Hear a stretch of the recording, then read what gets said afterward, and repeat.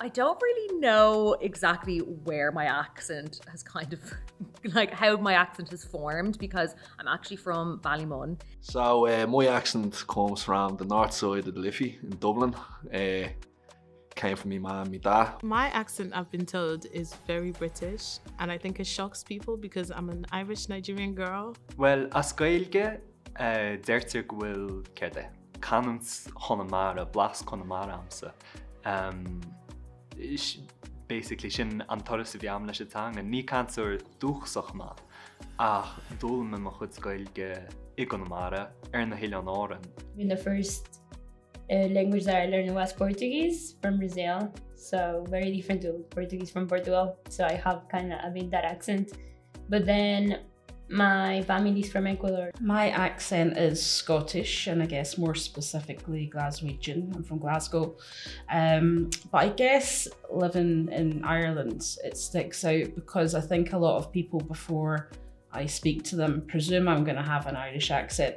Rugú agus tóga me sé am mar a gan hunna ná, agus is as an cheantar cearan dom éthir agus 10 móhair i níos inúnéan an álabain cégrast chun hunnaál dhé agus taitún chur ag chéingáil de chuúir sin. My name is Blessing. I am born and raised in Dublin, Ireland. So my accent is from Ireland. Ah, oh, people always say that I would be really good on a podcast. I don't cringe anymore about my accent. I think I kind of take it as my own now. Well in bhfuil go sin mealta gra sin mealtoch like is is unknown lei sin. Like people would just constantly come up to me in college and being like, oh, can you say this word? Can you say this word? Uh, that favourite word for me to say was dirty. I sound very soft spoken and you know they told me I'd be really good at ASMR and I'm like okay that's a talent. Sílam go minic go gapan daoine ghfuil blas hir chunail Harbh ceolhhar agus Harbh séh agus sin cean an rodí is smó has na má nuair bhín daoine caiinlumsa. People um, seem to want to mimic my accent back to me a lot. And that's always funny to me because I always seem to kind of get it wrong. And I remember a taxi driver said to me once, if you're Irish, then I'm an astronaut. So that was fun. Growing up in Ballymun, I used to get slagged off for sounding posh and I didn't think I sounded posh at all. I would always kind of struggle to fit in with different communities because within the white community, they see my blackness first. And then within the black community, they hear my voice and I've always been told growing up that I sound white and I talk white. Cean na rudaí is massa a dúirí lomsa agus dúir seo lom eh, ar hí tairí bhí mar ar chusa sairís muintear bon scala a héin chomáid agus bíar bhainteir bon scala chusa dhéanú agus nar héig daine eh, den na múnteir eile goró gaige agus goráú na ngáil dúsa bhí si céála caiú nuas ar an chahain agus ag ré goró muir hunna ná na muir na gail tarta in gna ná a gcónaí tarintúnta si agus goró chéall drochan chur ag an ganhaint ar taí agus eispris daoine háartar tír ar fád an sin nervhí se de genú gaige agus do bhhair sin nachró caiid an gaige na mánscalna gomáid sin ní smó.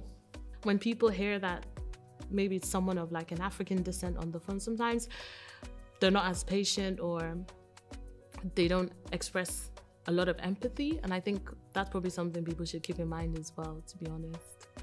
I remember doing the it was the uh, the Euro 2016 uh, campaign and uh, literally there was just so many comments and I, I mean I know social media social media but I remember there was just so many comments under it being like had to turn it off couldn't get past the accent or the poem was great there was the accent then a guy said wow but it's incredible because you have so much accent. It's like you arrived yesterday.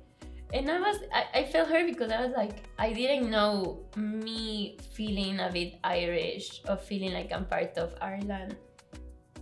It goes in dissonance with having an accent you know?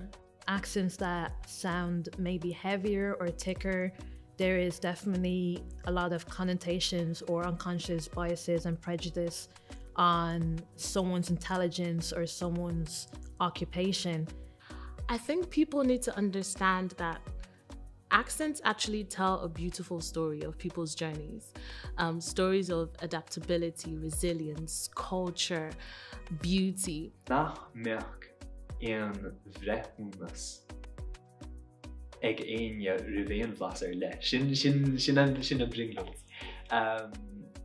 agus like an cis lei sin ná like mar dúirt me anis it's like ní ní mochud blas anna doch chomse ná go a hálach ná go géanrad go a stáid fersanta um, like either in gaige ná méle um, agus yeah, go go go gahamid len chéile agus like, go meach códa níos cosú lei seo like,